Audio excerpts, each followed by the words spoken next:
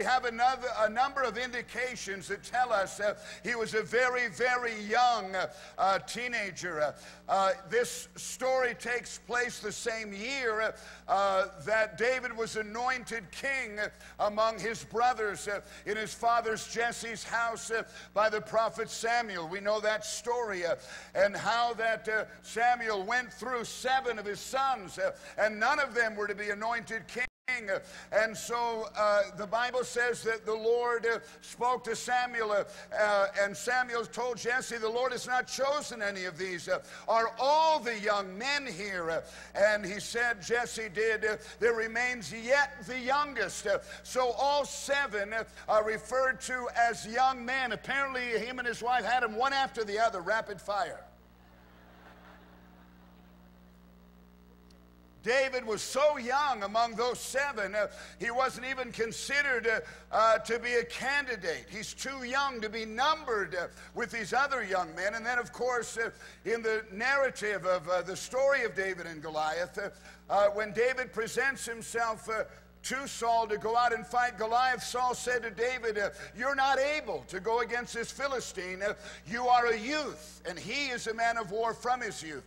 The word that Saul uses uh, is a word that's used throughout the Bible referring to young men and women uh, that God used, and it's a word that refers to an adolescent, one who is not fully developed, uh, but on their way to being developed. They're on their way to, uh, to developing uh, uh, the physical and emotional uh, attributes of manhood, and it's usually attributed to someone uh, between the ages of 13 and 19. And then, of course, uh, when David actually goes out onto the battlefield, uh, this adolescent, uh, the Bible says that the Philistine uh, is insulted that this is who the children of Israel have sent to fight against him. and the Bible says that he looked at David and disdained him, for he was only a youth ruddy and good looking. Now, this is not uh, an exception, it's a pattern in the Bible of God touching, calling, challenging young teenagers uh, to be men and women of God in their own right.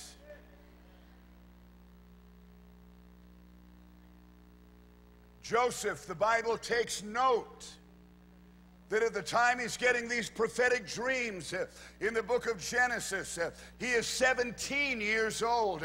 Jeremiah refers to himself uh, when God calls him and said, Lord, uh, how can I ever do this? Uh, I am but a youth. Same word uh, that is found uh, in the text uh, of this story of David and Goliath. we have the reference of Daniel and his contemporaries that were solicited by Nebuchadnezzar to be trained. this was the cream of the crop of, of the captives, and the Bible refers to them as young men men. Esther, uh, uh, Queen Esther, the woman who became uh, uh queen during captivity, uh, is referred to as a young woman over and over again. the Bible wants us to see and doesn't refer to these people as just this individual or Esther or Daniel or Jeremiah. It gives us their age, and if it doesn't give us their age, it gives us their range of age which is somewhere during their teenage years. We know that Samuel himself was called and began to prophesy as a boy. 1 Samuel 3 1 Now the boy Samuel ministered to the Lord before Eli. And when he was a young boy, uh, he grew up somewhat, but he's still young. So Samuel grew, the Lord was with him, and all Israel from Dan to Beersheba knew that Samuel had been established uh, as a prophet of the Lord. So there was a recognition uh, that this young boy, this young man, this adolescent uh, had the spiritual capabilities to provide leadership. This was something that was recognized uh, by the nation. We have the account uh, of King Josiah. He was the son of a wicked king, uh, born into an atmosphere of backsliding uh, and spiritual decline. Listen to what the scripture says. Uh, Josiah was eight when he became king, and he reigned 31 years in Jerusalem, and he did what was right, walked in the ways of his father David. He did not turn aside to the right hand or to the left, for in the eighth year of his reign, so now he's 16, while he was still young, the Bible says, uh, he began to seek uh, the God of his father. You know what we need? We need 16 year olds uh, that'll be seeking God with all of their hearts. All of Jesus's disciples uh, were young men. I've known that, but as I'm reading the commentaries about this, uh, uh, one said that Peter would probably have been the oldest. He was the only one married. And the rest of the 11 disciples uh, were probably between 15 and 18 years old. Still, uh, they were young men when Jesus died and rose. Uh, they were filled with the Holy Ghost. Uh, they were commissioned uh, as the church of Jesus Christ, the apostles, to provide leadership, while most of them were probably still under 25 years old. The challenge here and the point that I want to make is I'm not just trying to inspire young people to live for God. We want you to do that. But the scriptural emphasis on youth uh, is leadership. And this is very significant. I understand, and we all do, uh, that wisdom comes with age uh, 30, 40, 50, 60, 70, 80. Uh, we need the insight and the wisdom uh, of those with life experience uh, to provide necessary influence uh, and leadership. But all of that. Uh, notwithstanding, God has always intended young people insignificant to be in significant roles uh, of leadership. Consider Joel 2:28. Uh, and it shall come to pass, uh, your sons and your daughters shall prophesy, and your young men shall see visions. Prophecy is a function of leadership. You're getting a word from God you are dispensing and dispersing that among the multitudes. Uh, and the idea there is that God is going to call young men and young women to dream dreams and see visions uh, and provide reference points uh, for others to follow. It's a function of leadership. We know what was happening when Samuel was called uh, uh, and he began his prophetic ministry uh, as, uh, as a young boy. Uh, we know that uh, Israel was lost. they were in moral decline. there was no lamp burning in the temple. Eli was a, was a wicked, lazy, carnal, and, and selfish high priest. and so God solicited a young boy, deposited anointing on him, and, tend, and for him to provide leadership. The problem in Israel, when David stepped out onto the battlefield that day, is a problem of leadership. Leadership is not coming from the king. Leadership is not coming uh, from military leaders as far as that battle is concerned. And so God raises up uh, the most unlikely of all to provide the necessary leadership. Uh, not trained in war, not a warrior who's skillful uh, with bow and sword, but he is there and he's available and he has faith. And God doesn't just want David to be a good boy, serve God, get good grades in school. He puts him in a position to provide leadership for a generation that's lost. And what we have here in this expression of leadership is the younger influencing the older. Now, I want to be very careful how we take this. Uh, I'm not looking for an eight year old to pastor the church. But look at our culture and see what's happening.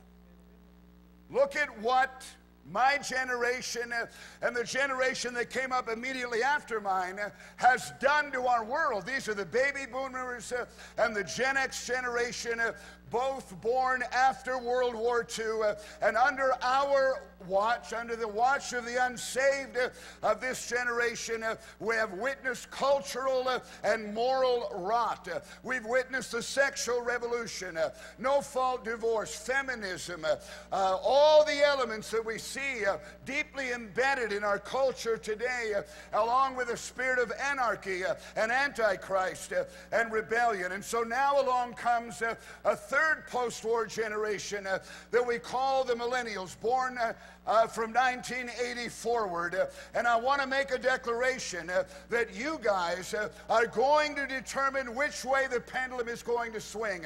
When David showed up on the battlefield that day, uh, is it going to be more of the same? Is he going to acquiesce uh, and surrender to the status quo uh, of nobody rising up? Uh, or is he going to step out uh, and repudiate the dysfunction uh, of the previous generation uh, and provide the necessary leadership to turn the tide? it is in your hands to do so, and God will put upon you the mantle of responsibility to provide leadership for this generation. I just read just this week an editorial written by a man named David uh, uh, Leonhardt, and his uh, title uh, of his article was Why Teenagers uh, Might Grow Up to Be Conservative. And this guy's a liberal, writes for the New York Times. And he looks back to the 1960s radicalism, sexual revolution, and all that. Ronald Reagan was elected president in 1980 because uh, the pendulum had swung and the young people of that generation uh, that were voting for the first time uh, overwhelmingly voted for Ronald Reagan. Uh, and what is called the Reagan Revolution uh, was fueled uh, by those young first time voters uh, who repudiated the rebellion of the 60s and said, No, we're not going to accept the status quo. we're going to take this country in another direction.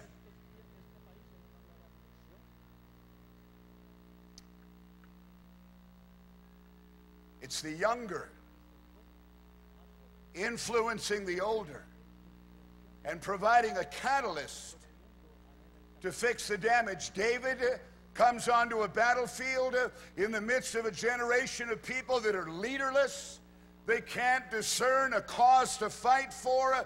They've lost touch with the God of their fathers.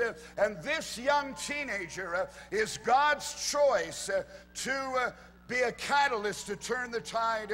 And he does. Remember when he came onto the battlefield, uh, the description of the scene uh, is this. Uh, verse 24 says, And all the men of Israel, uh, when they saw Goliath, uh, fled from him uh, and were dreadfully afraid. Uh, David was called, think about the, the, the, the, the, the tide and the culture of that. It was unanimous. Nobody's going to fight Goliath.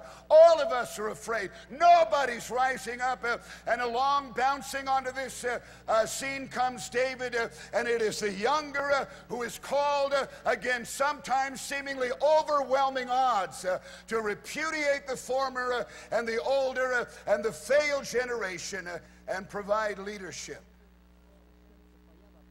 So I want to talk, secondly, about the obstacles that have to be overcome because this is not automatic. There are numerous ones that we could cite, perhaps identify. Landscape is filled with obstacles that are killing the seed in our youth. Family dysfunction, media, all kinds of things are out there uh, whose uh, design is to undermine that seed. I want to consider two of them that I think we see in our text. Two hindrances that are undermining the seed of God's fire and power and leadership being fueled in our youth. One is peer pressure. All of us probably are subject to it to one degree or another. But young people, I want you to listen to me. Young people are particularly prone to pattern their behavior in relationship to what others think. Young people don't want to separate from the crowd and make a stand and stand alone. That is the most horrible, offensive posture to take, and so they will acquiesce to whatever the status quo is, surrender to it so that they can be accepted. Someone wrote about this and said peers become an important influence on behavior during adolescence. Peer pressure has been called the hallmark of an adolescent experience. Peer conformity in young people uh, is most pronounced uh, in respect to style, taste, appearance, uh, ideology, and values. Peer pressure is commonly associated with episodes uh, of adolescent risk taking, delinquency, drug abuse, sexual behaviors, uh, and various sorts of reckless behavior. Uh, affiliation with friends who engage in risk behaviors uh, has been shown to be a predicator uh, of an adolescent's own behavior. Uh, peer pressure can also have a positive effect when youth are pressured by their peers toward positive behavior. the importance of peers declines in the adult years. In our text, David stands up to peer pressure. That peer pressure came from the culture of leaderlessness itself, a culture embedded with fear and unbelief and doubt. Would have been very easy for him to see that, surrender to it. But he also stood up against the peer pressure uh, that flowed from his brothers when he starts uh, asking questions uh, and wondering why someone's not rising up. Eliab, his brother, uh, heard when he spoke, uh, and Eliab's anger was aroused. Uh, why did you come here? why have you left those few sheep? I know your pride and insolence. for most, that's enough to get you to back down. You may know something's right, and you may pipe up but when you're slammed or mocked or ridiculed uh, by your friends in the church uh, or your friends in life uh, or your high school mates or workmates or from members of your family, this is why David is such a unique man because he didn't allow himself to be subjugated by peer pressure. He did what was right.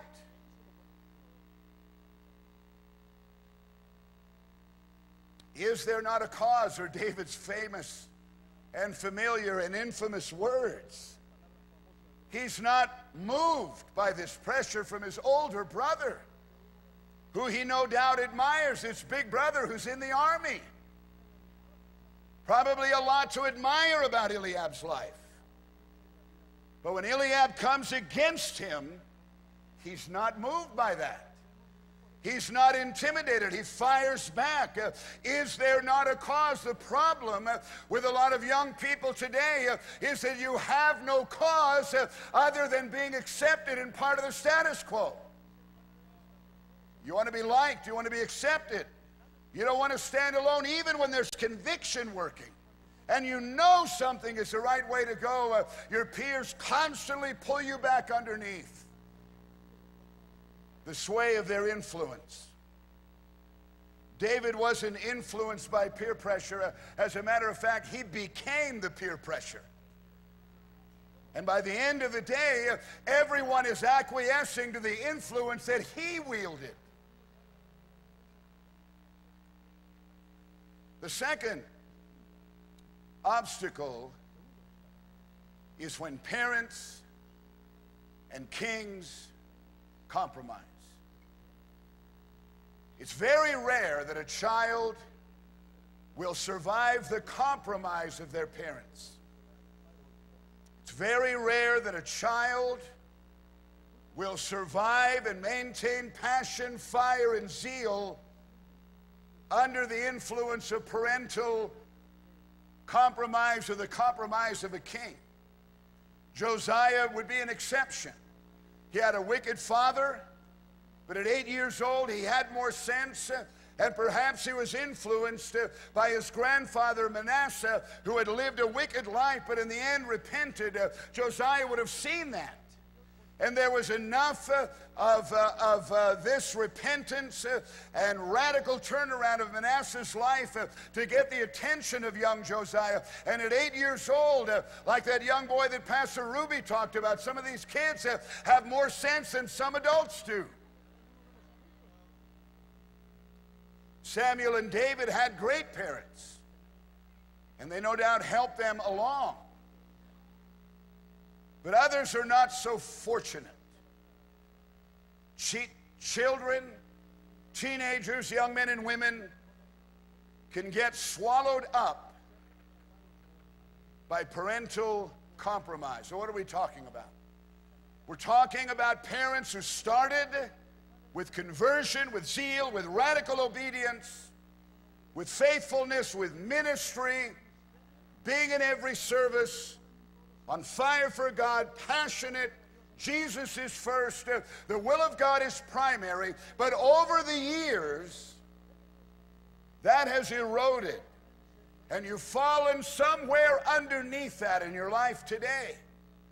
You're no longer driven by such.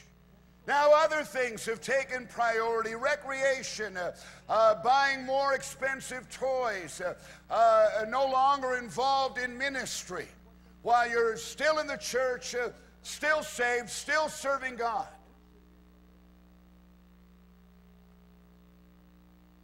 Then children start growing up. They're hearing the preaching. They're, they're feeling and seeing the influence uh, of what it means to be a passionate uh, and zealous believer in Jesus Christ. And God starts dealing with them, challenging them. They start exhibiting that zeal, uh, and what happens is that it's killed. It's not encouraged. This great opportunity for David un, came underneath Saul's oversight. He saw something in David released him ultimately uh, to go fight Goliath, uh, but ultimately because he was a compromiser, uh, he didn't know how to cultivate uh, something that was working of God in David's life. Uh, and this is what happens is that a compromiser uh, will instinctively try to kill the seed, not overtly. They're not overtly trying to destroy uh, uh, faith uh, or passion or zeal, but there's something in the heart of someone uh, who's fallen from here to here uh, when they see their children rising up uh, or a David rising up by their conduct, by their behavior, by how they handle that. they end up killing and discouraging that godly seed. And this makes it very hard for young people and they rarely will survive and maintain being on fire and being a radical for Jesus when the parents aren't. Lesser men than David would have succumbed to the peer pressure that flowed from Eliab. And if they had survived that, uh, they probably would have capitulated uh, under the weight of Saul's assault against them. Uh, these are the compromisers. We're not encouraging the seed. Someone said that generally children will pray, evangelize, witness, be faithful at the same level the parents do. And when they try to respond to a level beyond that, God moves on them they're not encouraged, they're not helped. And many times in these young people, uh, the conviction that they felt will begin to fade uh, just like it has in you. This quote is called When Parents Compromise. I have seen that a father's compromise becomes the son's commitment that the high point of a child's spiritual pursuit is referenced by the lowest level that the parents have shown acceptable. Now, we're not talking about parents that have gone on drugs, uh, abandoned their children, and gone off. We're talking about ones that are in the church. And you're good people, and you love your children.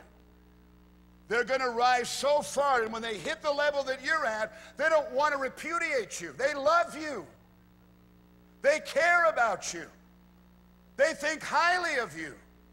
And generally, it's not an absolute statement, uh, but generally they'll not rise above that. Therefore, uh, the highest level of commitment these children rise to uh, will be the level to which the parents have fallen to in their compromise. It's not an intentional wanting to kill a seed, but that's exactly what happens when kings and parents compromise. Let's talk about the challenge that we need to respond to. Who will lead? Who among the, other, the under 25 year olds here today? Let's just draw a line at 25. From 12, 13, 14, who among you, who will allow the Holy Ghost to get a hold of your life? Once and for all in order for you to provide leadership, some things have to be left behind. And this is a perfect altar for you to do that very thing this morning radical decisions, reference points, services uh, that provide for us uh, opportunity to shift and go in another direction in our lives. Uh, this, what, this is what the, battlefield was like for David. It was a great big altar call for him. Am I going to respond? Uh, am I going to exhibit faith? Uh, am I going to obey God? Am I going to believe God? Am I going to accept the challenge? You have to make choices in your life. Hard choices. It's one thing to decide I'm not fornicating, not smoking, not doing drugs, not running away from home. But it's another thing to make choices about things that you don't, you can't, and you shouldn't do that aren't bad in themselves. There comes a time, every young person has to make a decision I'm no longer going to allow my peers to determine my course. Uh, I'm coming underneath the authority of my God who's called me.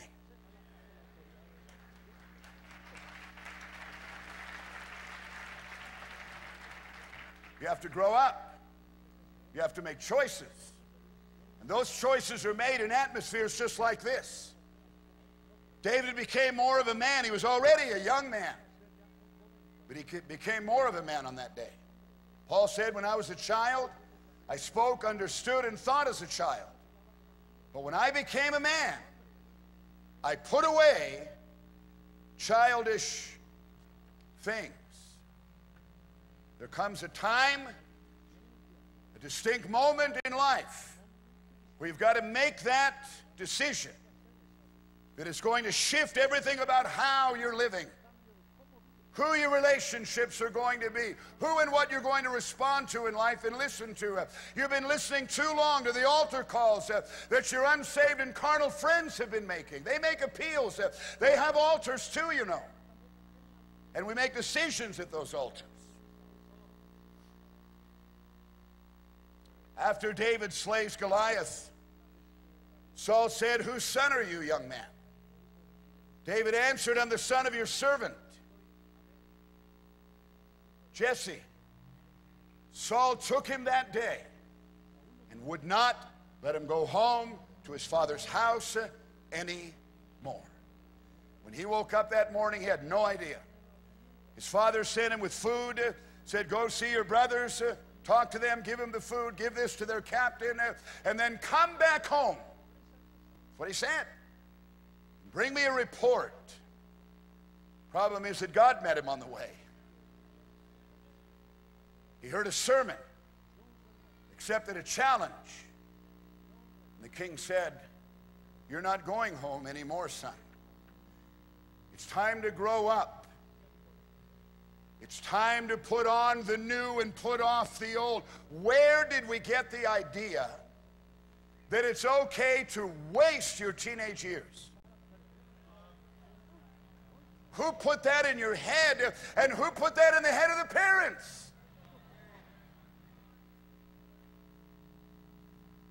We excuse frivolous, destructive behavior. Oh, well, they're just young. Yeah, they stole a car, got drunk, uh, totaled it. Oh, they're just kids. Where did we get the idea that youth is for that and it's okay? It's okay to spend your youth, teenage years uh, playing video games. It's okay to ignore every sermon preached while you're texting and playing on your phone. You're young. Greatness is ascribed to those who get serious early in life. You want to be a 35 year old layabout? Just keep going the direction you're going.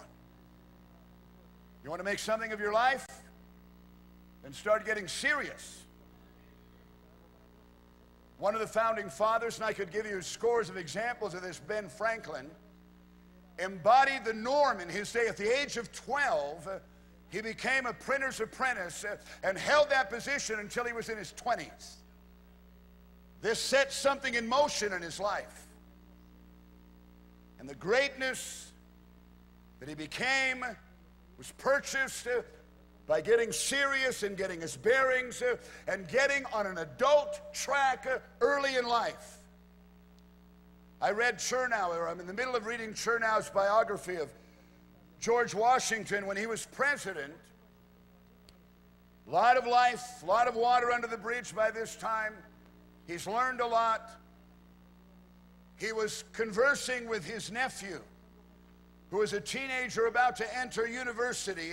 And he said, Every hour misspent in your youth is lost forever, and the future years cannot compensate for the lost days at this period of your life. Now, I understand the sentiment.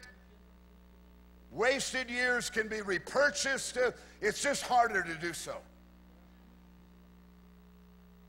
Lost opportunity can be laid hold of again, but isn't it better to take possession of the opportunity that God presents to you in the now?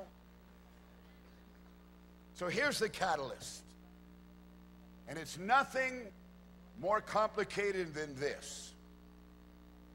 Perhaps David's capabilities while he's a young 14 to 19 year old teenager, perhaps they were in place because he had a serious relationship with God.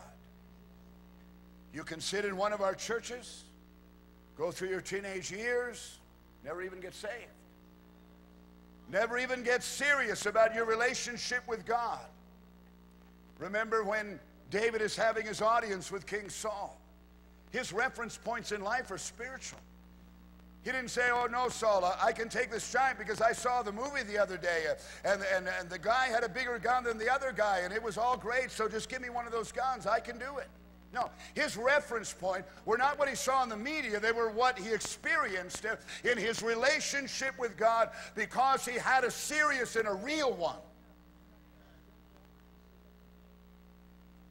He presents his credentials to King Saul. Moreover, David said, The Lord who delivered me from the paw of the lion and from the paw of the bear, he will deliver me from the hand of this Philistine. His testimony, uh, by the time he got to that battlefield as this young teenager, uh, his testimony uh, is already in place. He already has a spiritual track record of faith and victory.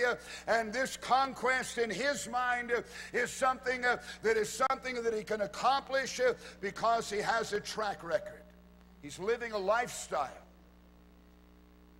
of spiritual reference points, trusting God, a lifestyle of faith. And then when he gets out onto the battlefield, more of this is brought to the table.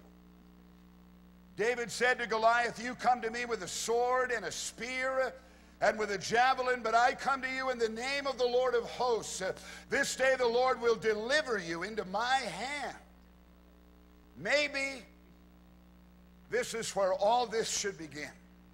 By you answering an altar call and making a decision, I'm getting serious uh, in my relationship with God. You could be 12 or 13 years old uh, and have a serious relationship with God. Uh, Josiah had some semblance of that. And by the time he was 16, he's still referred to as a young man, but he's getting a hold of God at that age.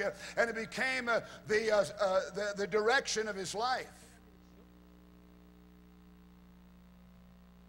Now we come to verse 54.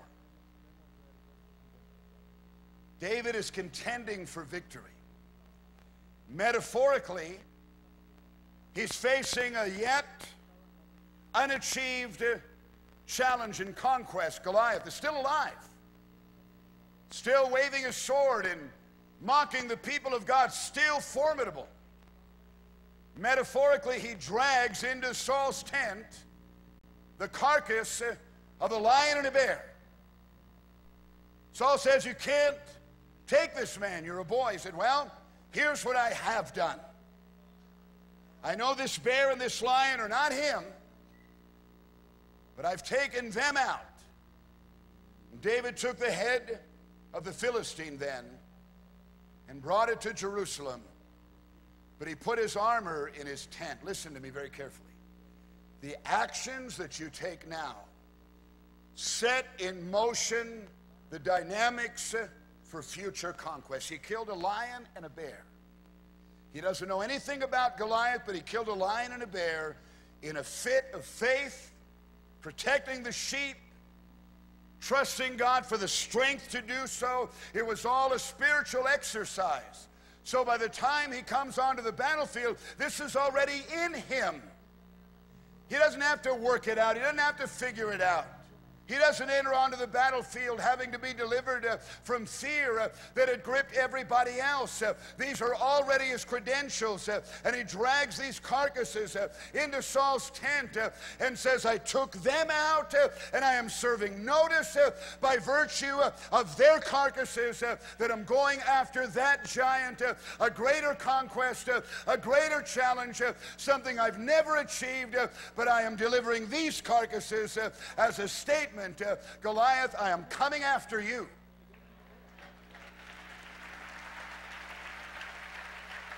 And then he takes the head of Goliath. And this is the curious thing, and this is what Pastor Ruby and I were talking about. He took the head of Goliath and he took it to Jerusalem, put it there. I may say, so what? Well, the so what is that as it as of that moment, Jerusalem had not been conquered yet.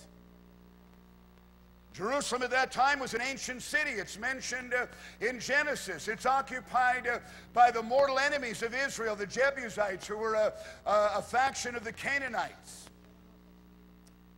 Jerusalem survived.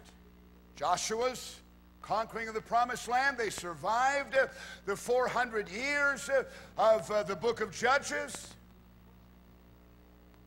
But somehow instinctively, I don't know if Pastor Ruby's figured this out, but somehow instinctively, David understood uh, Jerusalem matters, uh, Jerusalem's important, uh, Jerusalem is a conquest yet a conquest yet unachieved.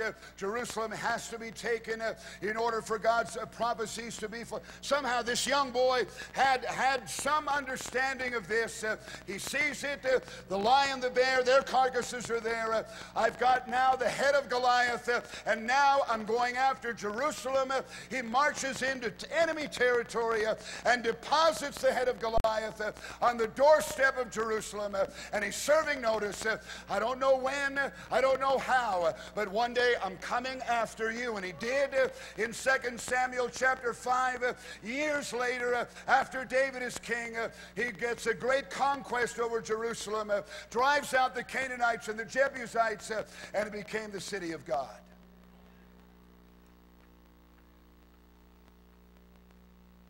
You have, and I want you to think about this. None of us have arrived, certainly teenagers haven't. There are areas of conquest achieved thus far. You're here at conference. You're saved. You may be filled with the Holy Ghost. There's a few carcasses uh, of former things that you've overcome, uh, but you've got a long way to go. Can we say amen? But you know what you can do this morning? Uh, bring the head of Goliath to this altar uh, and say, whatever it is in my life uh, that is hindering and undermining, I don't know how, I don't know when, but I'm coming after it. And I'm bringing the conquest of past victory to this altar.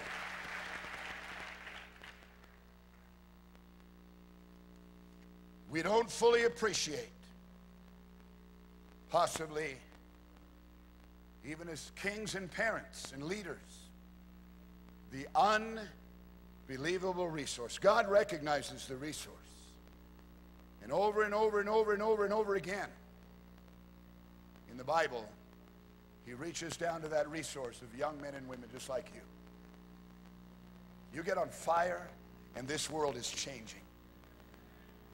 You get on fire, get stirred up at this altar, Make some decisions to change the course of your life uh, and mark it down. Uh, our world is going to undergo a, a fundamental, radical uh, transformation uh, if our young men and women uh, will get on fire for God. If parents can answer this altar call and perhaps some leaders and say, No more compromise. I'm setting the example for my children. I'm going to be on fire. I'm going to get back to where I once was. I may have left my first love, but there'd probably be nothing probably be nothing better uh, than for teenagers to see mom and dad uh, at this altar uh, weeping and broken before God. I think we're in for a worldwide, earth shaking, revolutionary revival, and it could start, a lot of it could start right here at this altar. Hallelujah.